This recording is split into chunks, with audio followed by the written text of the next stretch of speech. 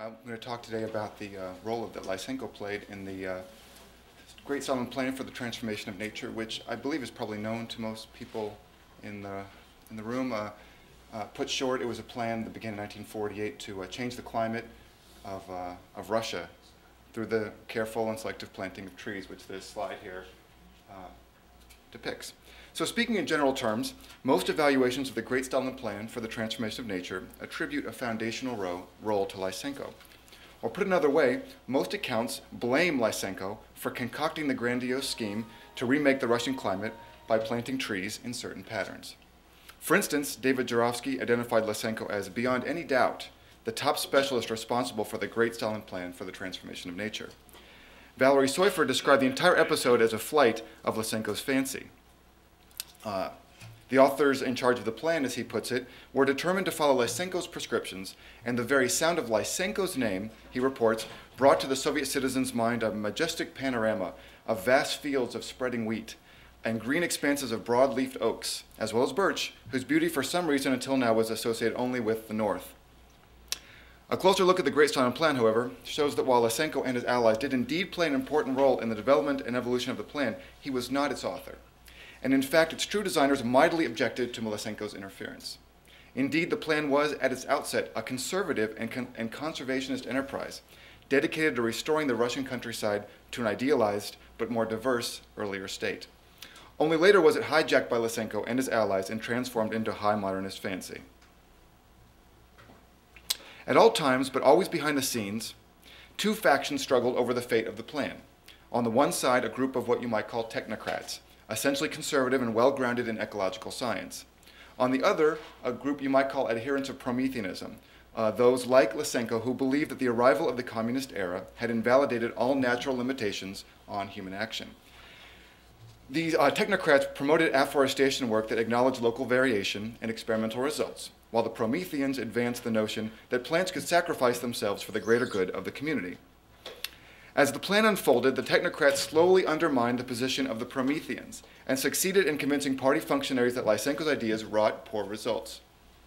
But, just as their arguments began to persuade those at the top of the party hierarchy, Stalin died, and support for the plans died with him. The Great Stalin Plan ultimately reached few of its goals, but not because the Soviet state was held in the thrall of Lysenkoism, from 1940 to 1953, at least in this field, but rather because Lysenkoism and technocracy canceled one another out. Although the Great Stalin Plan possessed no small air of fantasy about it, at its core lay an old and essentially conservative, if not reactionary, Russian dream to make the southern steppe more like old Muscovy. The first efforts to afforest the steppe date to the, the mid 19th century, when the agronomist Viktor Yegorovich von Graff investigated which woody species were best suited to colonize the dry prairies of southern Russia.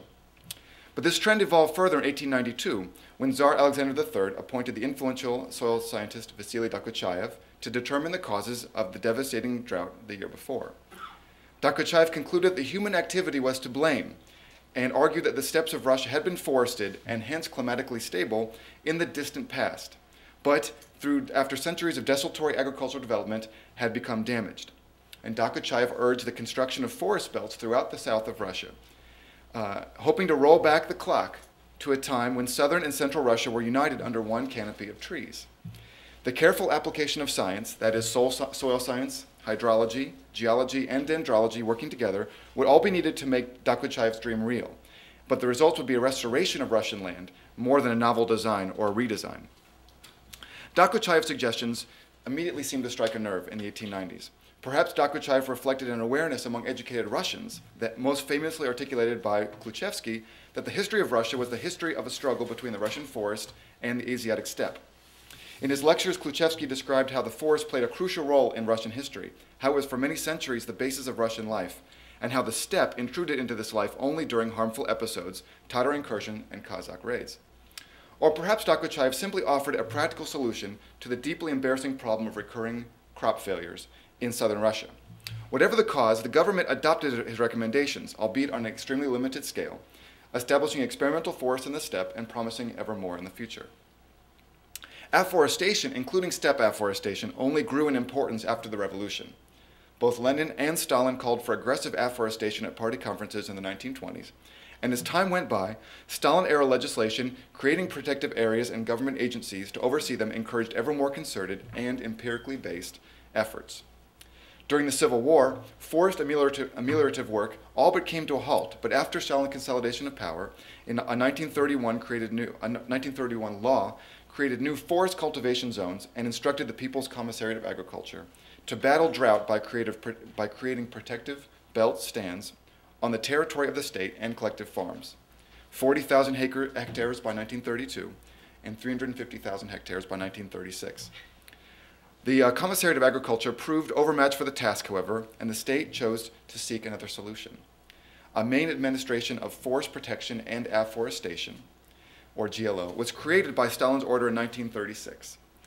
GLO's internal documentation reveals that the agency was able to achieve considerable success in its assigned tasks of afforesting the steppes. In the years before the war, the administration was establishing twice as much new forest per annum as did the Commissariat of Agriculture did uh, the year before. The survival rate, furthermore, GLO claimed steadily climbed, and this was assisted by the graduation of 1,400 students from the educational programs they had sponsored each year. Meanwhile, the mortality rate of the forest declined from, from 31% in 1936 to 25% in 1939, and then to 17% in 1940. If these numbers can be trusted, these are extremely good survival rates, I should say, uh, parenthetically. GLO attributed successes to increasingly educated cadres and also to improved ecologically based planting and planning. The country was divided into 14 regions, with each region given its own list of suitable trees and shrubs. In Zone A, for instance, a strip of territory linking Vinnytsia, Kiev, Zhytomyr, and Chernigov, um, workers were in, allowed to plant Siberian larch, pine, and birch. But in Zone B, a region just to the south, they were not, while currant and, uh, and white mulberry instead were sanctioned there, and not in Zone A. World War II nearly halted the afforestation work in the Soviet Union, but soon after the war's conclusion, the state renewed its dedication to protective afforestation with a rapid sequence of new legislation. In April 1947, GLO became uh, was turned into the much more, more powerful Ministry of Forest Management, with a special bureau dedicated so solely to steppe afforestation. On 11 October 1947, the Council of Ministers approved an aggressive plan drafted by the Ministry of Forest Management to establish a million new acres of forest around the collective farms of southern Russia, and then six months later approved a, a smaller version for the Ukraine. Together, these two plans, predicated on the premise that field protective belts of forest decrease the wind, the speed of the wind across the fields, which in turn decreases the moisture transpired by crops and hence their desiccation, foresaw the establishment of more than 1.5 million hectares of new forest. But the grandiosity of the plans was offset by an unhurried pace, a limited scope, and a sober methodological approach.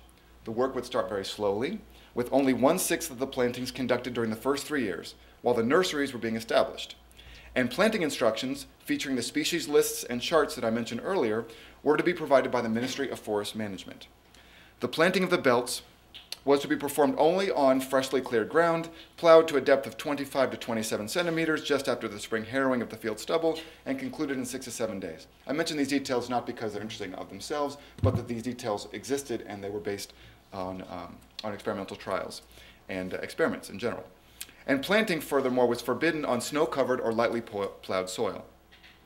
And both plans, uh, uh, approved in 1947, ambitious though they were, shared relatively modest and scientifically grounded objectives to make landscapes more stable by making them more diverse, which would change the microclimates of the farms and the hydrology of relatively small spaces.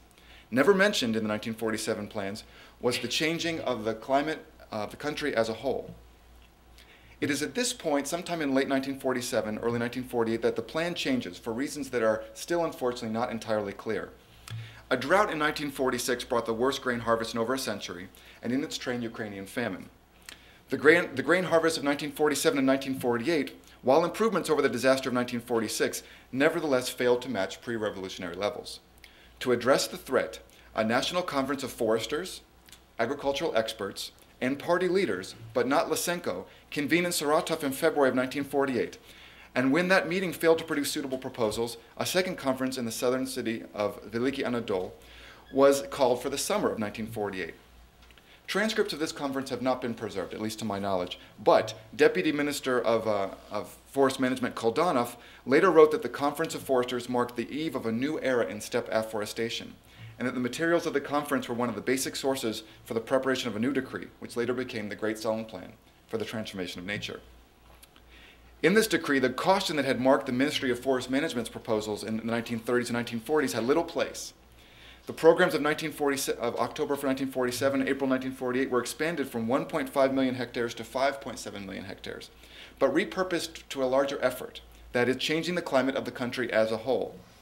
Thus, for the first time in the Soviet afforestation effort, Prometheanism took center stage, although at the core of the plan still remained the dream of restoring the Russian landscape to an earlier state. Beneath the surface of the fantastic claims about the transformation of the climate, however, the influence of the technocrats working at the Ministry of Forest Management could still be discerned. Newsreels and newspaper articles emphasized the symbolic power of the mighty oak, but afforestation workers were ordered to use the old prepared list of species suited to each region. The decree included recommendations for suitable secondary trees and bushes, and foresters were instructed to observe the soil type when choosing species the Ministry of Forest Management brought back into circulation a number of Tsarist era works, long out of print for political associations in the 1920s and 1930s. Um, and these works emphasized the ecology, the importance of the ecology of a plot scheduled for afforestation, and urged workers to read these works. The decree of 20 October 1948, which was the great the transformation of nature decree, was certainly a step in a radical Promethean direction, and yet in its first three months, the methodology of the plan, if not the aims, remained traditional. Now, obviously, this has just been backstory. This is where Lysenko enters the story, at least my story now. Uh, Lysenko's allies, allies, tried to claim that it was Lysenko who first proposed the establishment of forest, uh, forests around farms to increase their yields. Um, but he was, as should be clear from the story I've just told, um, a latecomer to the effort. He's absent until uh, late 1948. Lysenko played no role whatsoever in the, in the, development of the field protective afforestation plans of the 1930s and the 1940s, and indeed had published, to my knowledge, any, nothing before 1948 about tree biology of itself, dendrology. However, the state's sudden interest in the practice drew his attention and prompted the articulation of a fantastic new theory of forestry that trees could become collectivists. At the time of the Stalin Plan's announcement, Lysenko told a reporter that he was then giving considerable thought to the planting of forests in nests, he said, and just a few months later, before experimental trials of the theory had been properly started, he began to declare this new scheme uh, the nest method a complete success. Lysenko had determined that while members of different species did compete for resources, members of the same species actually helped one another. Lysenko, as most people in this room probably know, contended that all plants possess a quality called self-thinning, which allows them to work together to fight against weeds in their early years, and then to pool their energy for the benefit of one shoot in the nest, the other shoots thereby sacrificing themselves for the main plant when the appropriate time comes. Thus, plants became soldiers in the fight for the survival of communism. Lysenko used his influence to place his, place his allies in key positions in, the new, in a new agency created to coordinate the planning work, which was called the Main Administration for Field Protective Afforestation, or GUPL, if you will.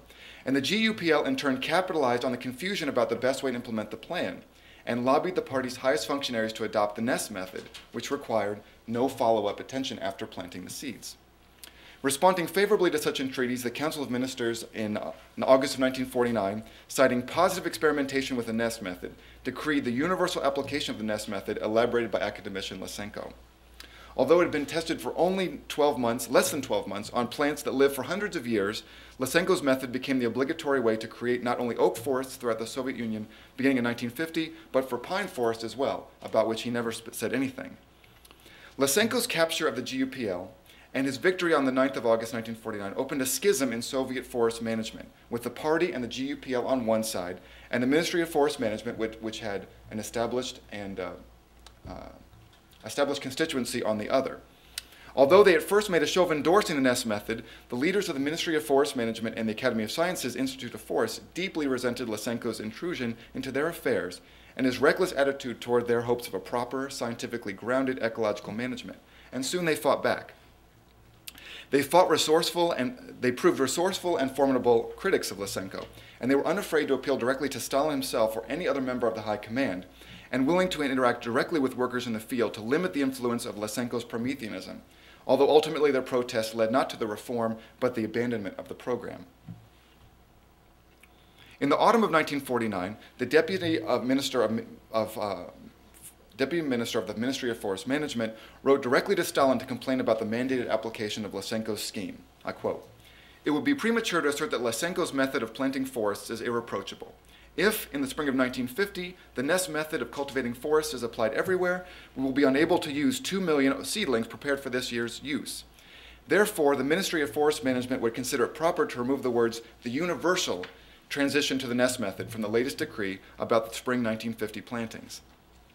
A letter sent by the same minister to um, Georgy Malenkov, ostensibly a less intimidating figure, uh, stated the objections even less cautiously.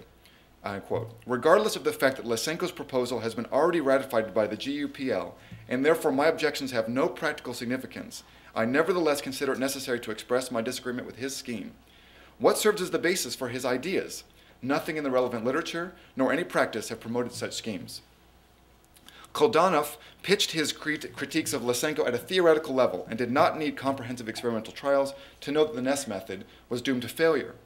But beginning in 1950, they received copious evidence to this effect nonetheless. The Ministry of Forest Management began to hold conferences beginning in 1950 to gauge the success of its work, and specifically the nest method, which had been employed for three years and, thus, and could thus be evaluated.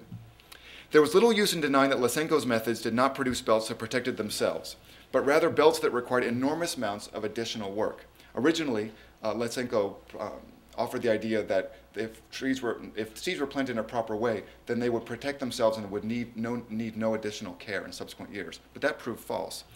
Uh, it turned out that, uh, that the trees needed to be thinned even more so than, they, uh, than, they, than the trees planted in traditional ways.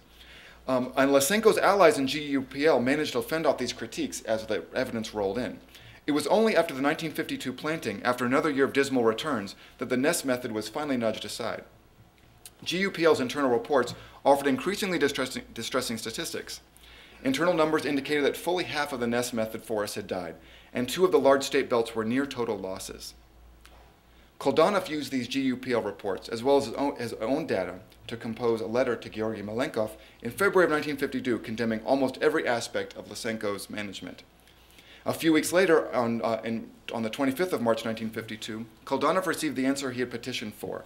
The Council of Ministers agreed that the application of a formulaic method of creating protective stands was inexpedient and accepted the necessity of a different, of a different technique for the creation of new forests depending on local conditions. What followed was a brief period of uh, enthusiastic activity. The Ministry of Forest Management responded to this new decree by excitedly revising its plans in preparation for the 1953 planting season. Planting season, I should say. Uh, uh on March 5, 1953, the deputy head of the Ministry of Forest Management proudly announced that beginning this spring, the sowing of oak without the simultaneous planting of an appropriate secondary species will be forbidden, and the plantation types devised by GLO but shelved since 1949 would be resurrected. The experience of the past four years, comrades, has taught us much, said the head of the Saratov Territorial Administration. Uh, and the days of the, glo the gloomy days of the past are behind us. But that night, Stalin died. And on March 15th, six days after Stalin's funeral, the Ministry of Forest Management was liquidated. With the, with the, functions of the Ministry of Forest Management transferred to the, to the Ministry of Agriculture, all forest-related programs fell into deep decline. The number of workers assigned to forest matters in Moscow fell from 927 to 342 in the space of six months, a 62% drop, and then to 120 after a year. From the regional administrations, 701 out of 1,400, 1,400 workers were let go. Koldanov sent a series of alternatively angry and despairing letters to Khrushchev, asking about why the state had chosen to forsake forest management but to no avail. Khrushchev and Beria threw their hands up when confronted by the repair costs looming to the old nest method based uh, stands. And they issued a joint decree in the spring of 1953 eliminating the, the main administration for field protective afforestation. After that, the Great, the Great Stalin Plan receded rapidly from the public eye. Thank you very much.